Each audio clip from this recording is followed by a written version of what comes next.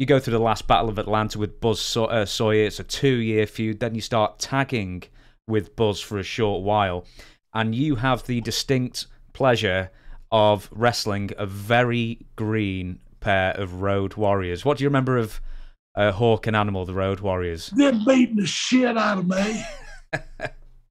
you know, they were uh only only fell only, you know, he was from Minnesota. They were bouncers. They were bouncers in a bar in Minnesota. And he didn't work out with them none because all he wanted to do was beat the hell out of people, you know, clothesline, just bully stuff. Lord have mercy. But I tell you what, they they sure learned how to they learned how to work and become one of the one of the you know top team tag teams, you know. But but when they first started, they'd say, You gotta wrestle the road with I'd say, Oh, I don't think I feel good. He'd say, You still wrestling. So but but then but as, as they learned and they wanted to learn, they liked that bullying stuff. Uh and which only wanted them to be rugged anyway. He wanted to knock the shit out of you. And uh, but they learned once they learned how to work, they was they was as good as anybody in the business.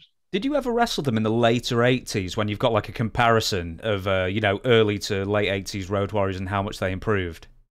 I'll give you a good story about my good friend Jim Crockett.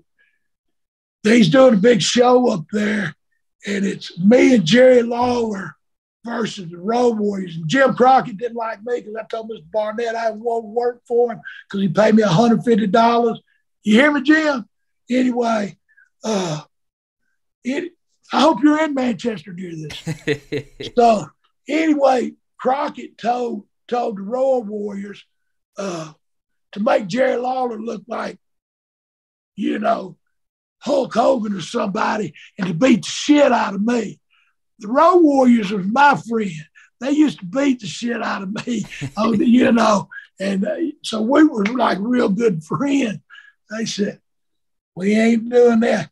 They, uh, I don't remember what the finish was, but they beat the shit out of Lawler, and they beat me up a little bit too. But Lawler, he he wasn't supposed to get beat on. He got his ass beat on, too, you know.